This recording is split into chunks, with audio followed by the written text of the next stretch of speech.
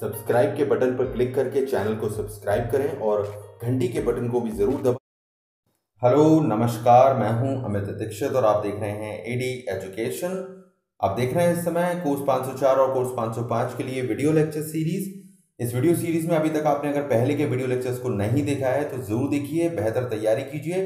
इसी वीडियो के नीचे डिस्क्रिप्शन में आपको सभी लेक्चर्स की लिंक मिल जाएगी। आज इस लेक्चर में हम आगे बढ़ रहे हैं और कवर करेंगे हमारे अगले टॉपिक को, जो कि है कोर्स 505 का। ब्लॉक तीन का ये टॉपिक है, इकाई 10 का। टॉपिक नंबर है 10.4.5 टू 10.5 तक हम कवर करेंगे आज। तो चलिए इस टॉपिक में आगे बढ़ते हैं। अब 10.4.5 प्रेक्षण टेक्निक है ये। तो प्रेक्षण टेक्निक में आपको ये बताया गया है, देखिए यहाँ पर कि प्रेक्षण टेक्निक मतलब कि अवलोकन शब्द का अर्थ यहाँ पर बताया गया है। तो देखिए, चीज़ों को देखकर, उसको समझना और देखते हुए उनका मूल्य निर्धारण करना, ये एक अच्छी टेक्निक होती है। इसको आगे हम समझते हैं, जैसे कि आप अपने बच्चों के अधिगम कौशलों के मूल्य निर्धारण के लिए प्रयोग कर सकते हैं। पर्यावरण की किसी अवधारणा को, किसी कॉन्सेप्ट को, मूल्य की समझ की विभिन्न परिस्थितियों में प्रयोग की आवश्यकता होती है। इसका मतलब ये है कि यहाँ पर अवलोकन करके बहुत सी चीज़ों को समझा जा सकता है, बच्चों का मूल्य निर्धारण किया जा सकता है। सूचना और ज्ञान के अलावा बच्चों की मनोवृत्तियाँ मूल्यों को समझने में सहायता करती है। अवलोकन की तकनीकें प्रभावशूल प्रभावशाली ढंग से कक्षा में कई क्रियाओं को बच्चों को करते हुए देखते हुए की जा सकती हैं। उदाहरण के लिए जैसे कि आप कार्य करने से संबंधित आदतें और पर्यावरण के प्रति अभिव्यक्तियों का अवलोकन कर सकते हैं। स्वतंत्र रूप से इकट्ठे कार्य करने की योग्यता को जान सकते हैं। समस्या सुलझाने की योग्यता को बच्चों की समझ सकते हैं। कक्षा में विविधता के प्रति, प्रतिक्रिया क्या है, उनकी किस तरह से वो काम करते हैं। विचारों और समझ का क्या विकास है उनका? ये सभी चीज़ अवलोकन तकनीक के दौरान आप प्रयोग करके उपकरणों के सहायता से सम्मिलित करके, जैसे अवलोकन का शेड्यूल बनाइए रेटिंग स्केल दीजिए बच्चों को स्कोर कार्ड बनाइए इन चीज़ों के आधार पर ऑब्जर्वेशन के आधार पर। तो ये पर्यावरण अध्ययन के मूल्य निर्धारण हेतु सूचना रिकॉर्ड करने के लिए प्रयोग किए जाने वाले कुछ उपकरण हैं जिनकी सहायता से आप ये कर सकते हैं। अब इसमें परीक्षा टेक्निक में ये बताया गया है कि अवलोकन शेड्यूल क्या होता है, कैसे हम इस चीज़ को कर सकते हैं? तो आपकी मूल निर्धारण पुस्तिका का एक पन्ना आप ऐसा रखिए, जिसमें बच्चे के मूल निर्धारण से लिए रिकॉर्ड रखे जा सके। तो देखिए, विद्यालय के पूरे सत्र के दौरान ऐसी कई चीज़ें होती हैं समय समय पर जिसको रिकॉर्ड करके रखना, उन उन ऑब्जर्वेशन को जो बच्चों के बारे में आपने की हैं, आगे चल के उनके बारे में एक अच्छा फीडबैक देने में, उनकी मूल्यांकन करने में बहुत सहायता करता है। तो अवलोकन शेड्यूल का निर्माण निम्नलिखित बिंदुओं को ध्यान पर रखकर आप कीजिए। कैसे बनाएँगे आप शेड्यूल? ये ध्यान रखें इन बिंदुओं का। तो बच्चों को की कार्य में आदान प्रदान और व्यस्तता क्या है? बच्चे किस तरह से पार्टिसिपेट कर रहे हैं? समूह में कार्य किस तरह से कर रहे हैं? स्वतंत्र रूप से किस तरह से कर रहे हैं? कर रहे हैं। और लोगों के प्रति और सदस्यों के प्रति और बच्चों के प्रति उनका क्या भाव है? क्या उनका विचार है?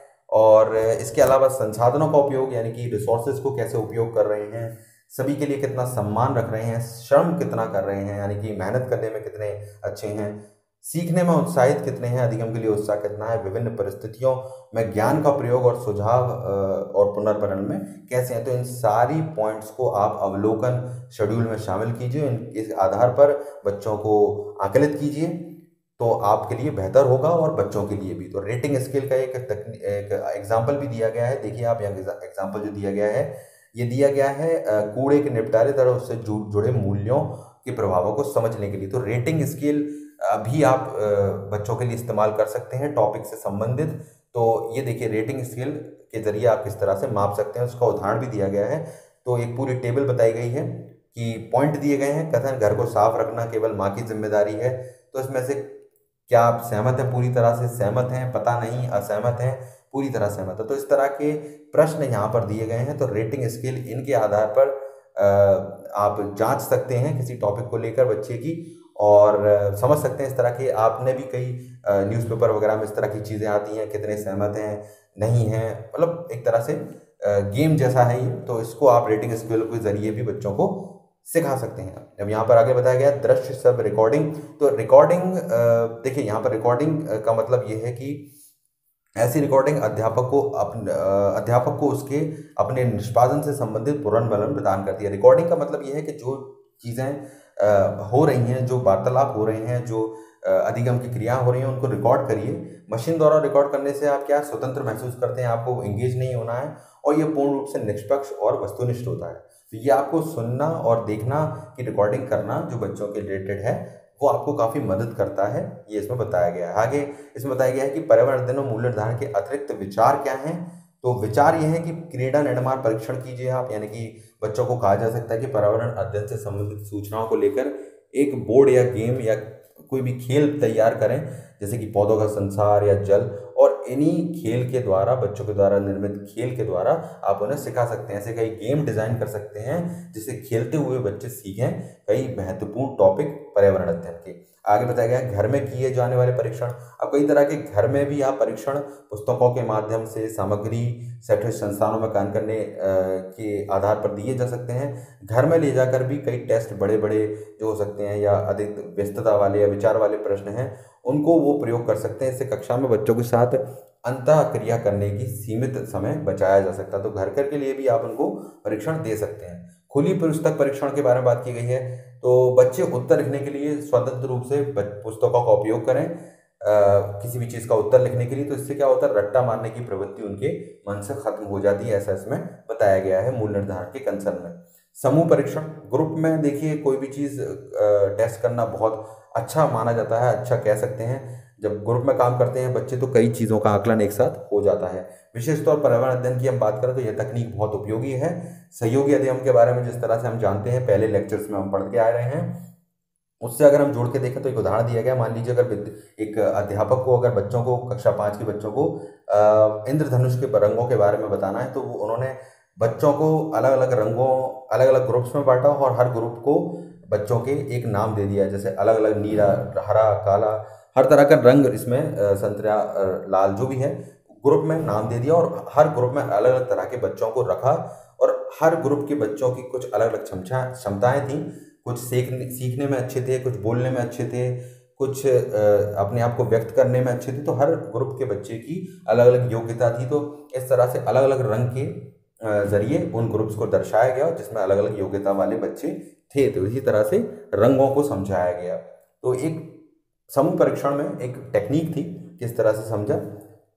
युगलों में परीक्षण इसमें बच्चे की किसी समस्या मुद्दे पे प्रश्न में जोड़ियों में कार्य करते इसमें जोड़ी बना दी जाती है दो ग्रुप दो दो बच्चों की जोड़ियाँ बना दी और वो जो, जोड़ी में ही अपने कार्यों को संपादित करते हैं और इस चीज़ों को सीखते हैं। इन चीज़ों का रिकॉर्ड भी रखा जाता है जैसे कि जोड़ियों में जो पुस्तकें खोलकर जोड़ियों में कार्य करने की जो आज्ञा होती है वो तो पुस्तक अलग करके जमा करनी होती है।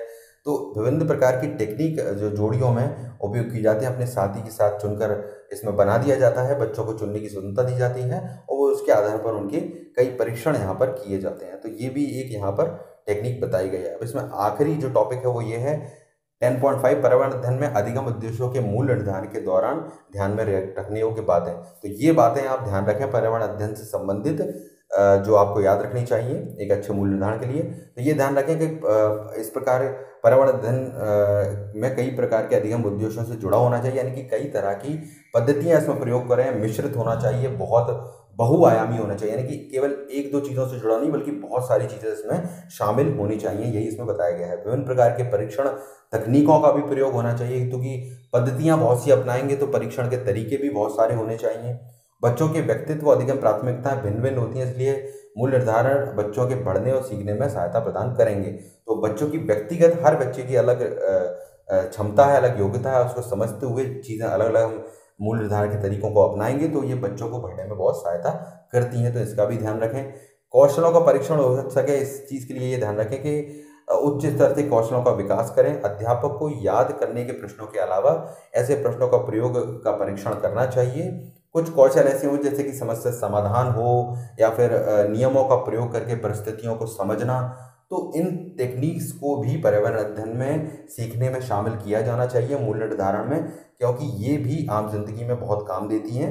ये इसमें बताया गया है। जांचने के लिए प्रदर्शित करना, यानी कि शो करना, बदलना चल कर दिखाना, तैयार करना चला कर दिखाना, तैयार करना, पैदा करना, संबंध स्थापित करना, समाधान निकालना प्रयोग करना यानी कि ये सारी चीज़ें आप आ, सिखाते समय और मूल्य निर्धारण करते समय इन तकनीकों का इस्तेमाल कीजिए तो काफ़ी कुछ उनकी क्षमताओं का आकलन किया जा सकता है। बच्चों के विश्लेषण के कौशल को समझने के लिए आप आ, कई तरह के अनुमान किस तरह से वो लगाते हैं तथ्यों और की पहचान किस तरह से करते हैं परीक्षण मदों को किस तरह से पहचानते हैं अंतर किस तरह से बताते हैं तुलना किस तरह से करते हैं चिन्ह कैसे लगाते हैं वो और ऐसे कई छोटी छोटी चीज़ें हैं, उनका चुनने की क्षमता, उनके अंतर करने की क्षमता, ये सब चीज़ें भी आप मूल निर्धारण में शामिल कीजिए तो बच्चे का एक ओवरऑल डेवलपमेंट आपको समझ में आएगा।